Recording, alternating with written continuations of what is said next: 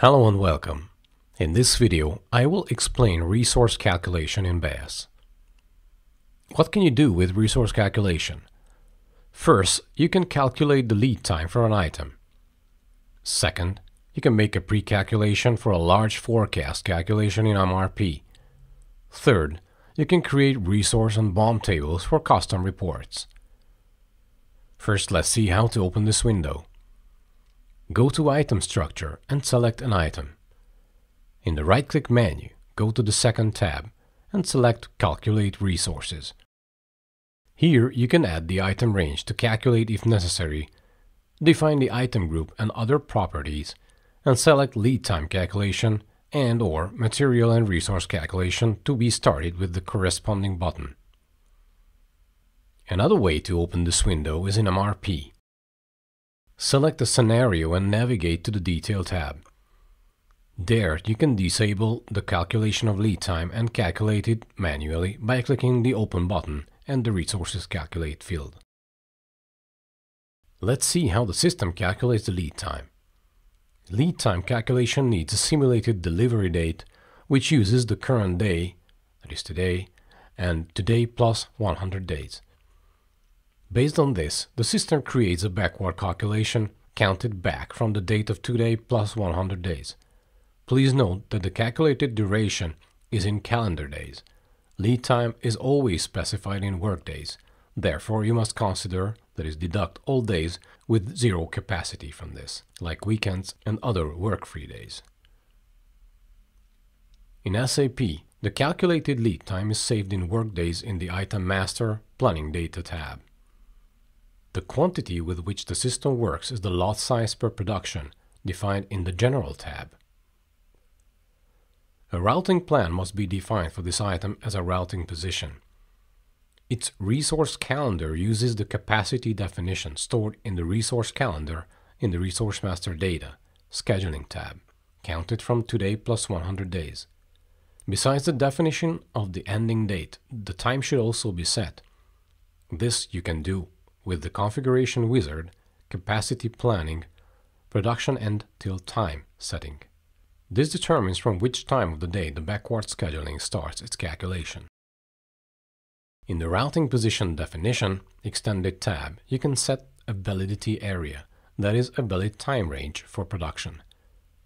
This way the system will only read routing positions defined for this period. All others are ignored. The following functions are supported by resource calculation. The short variant, and the used variant is always variant A. Item version control also always uses the default one defined in the item master data. The variant system in the work order and the product configurator are not supported. Now being aware of the supported functions, we go back to the item and calculate the resources. We insert the item and click on Lead Time Calculation. After the calculation, you can check the result in the Item Master Data Planning Data tab, where the lead time field shows the calculated result. In MRP, the calculation for greater duration may take considerable amount of time. Let's see how we can optimize this. In the MRP Wizard Detail tab, we have the setting Calculate Lead Time for Assembly. If this is activated, the system calculates the lead time for all order assemblies. This is important as every material has its own short variant, configuration, and so on. But when you are calculating for a longer period of time, where exact resource availability and the exact day, hour, and minute for needing a certain material is not necessary, in most cases the week is enough. So, for optimized performance, you can deactivate this setting and the system will always use the lead time already defined in the item master data, which is an average lead time based on the lot size also defined in the item master data. If this setting is deactivated for a greater time period, you can calculate the resources manually, maybe once a month or when you've changed many items. Then you can calculate it by opening the function window, and once it has finished, you can calculate MRP. If you work with forecasts, the calculation can take a lot of time. You can accelerate this by activating gross calculation, which always works with the result of resource calculation as shown. It calculates the necessary resources and materials based on the today plus 100 calendar days and the production lot size defined in the bill of materials. You may want to use this process when you don't need exact information, for example when you'd like to calculate MRP for a period of two or three months. If you work with cost calculation, you must activate the Material and Resources Calculate setting, because only then does the system save this information. And this is where we arrive at the last, third area, creating resource and BOM tables for all reports.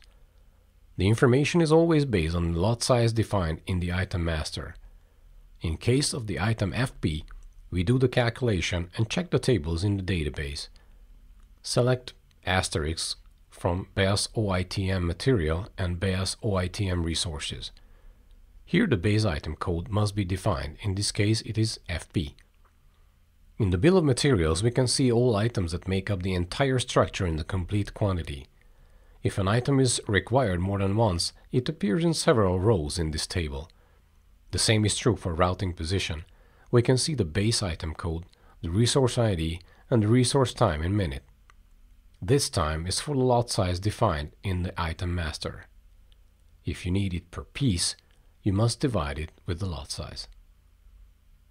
This concludes our summary of resource calculation in Beas. Thank you for your attention and please stay tuned for our upcoming videos.